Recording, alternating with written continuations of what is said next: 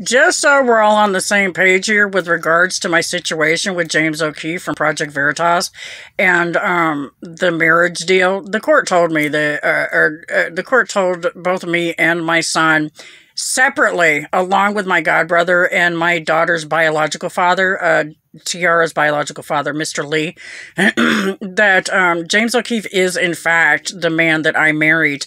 Um, I also want to point out that I did include in my um, evidence that I gave to Cass County the article which says um, on upon the arrest of James O'Keefe from that situation in what was it 2008 when he was arrested and it was so broadly uh, broadcast through the news and such um, with regards to um, him in that government building and putting the phone down his pants um, in that situation, it's documented that he carries ID cards with multiple uh, birth dates on them um, and multiple different identities, just so that we're aware of that situation.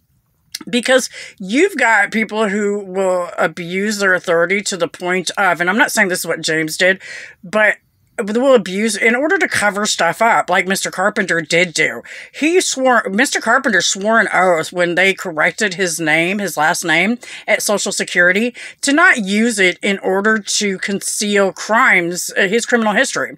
And so, in the process of that, you've got some of these people who are hiding behind the laws that protect law enforcement who use identities in order to protect their families from protecting themselves from actually being outed as uh, career criminals.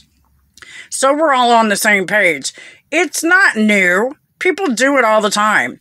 You've also got men and women who lie about their age so that they can obtain people that are not appropriately matched age wise and would never ever be with them had they revealed their real age just so we're all on the same page because that's going on rampantly. Um, not just with with internet stuff, but in face to face contact as well. And it's something that we need to enforce more and we need to expose more so that we can get more of the truth out so these victims don't be afraid to come forward uh, the more I can do in order to help victims, the more I'm going to do. So, um, just so we're all on the same page, that's my purpose. I want to do my part to fix the system, not to hide in it to create more crime. God bless America. Have a blessed day and back the Blair.